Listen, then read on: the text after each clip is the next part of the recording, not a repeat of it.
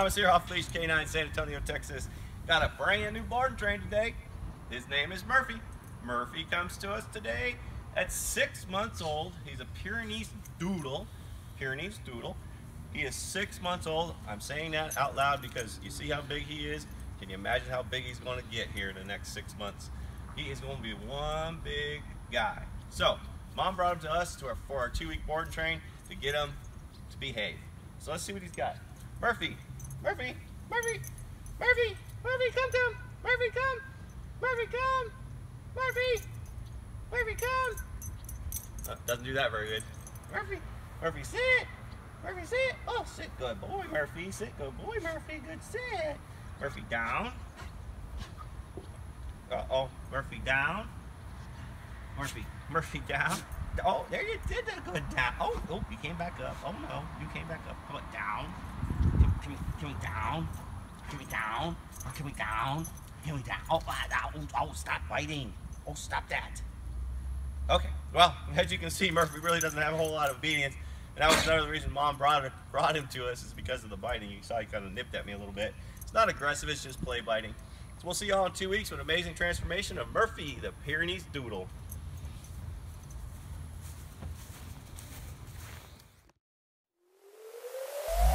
Música